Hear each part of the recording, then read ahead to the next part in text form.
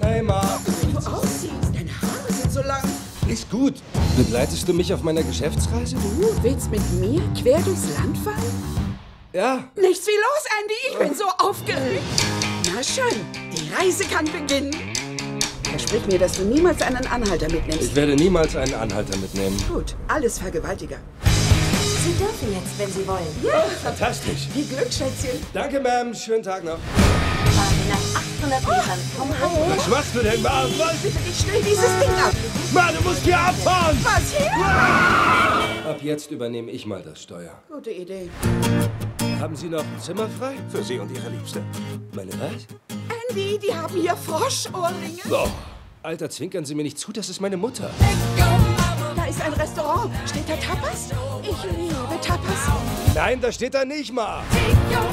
Diese Woche ist nicht so gelaufen, wie ich wollte. Ja!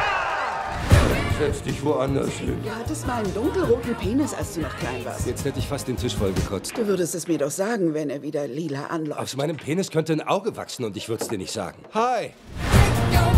Das war das letzte Mal, dass ich ihre Tochter war. Was für ein schönes Kapitel. Er schreibt großartig.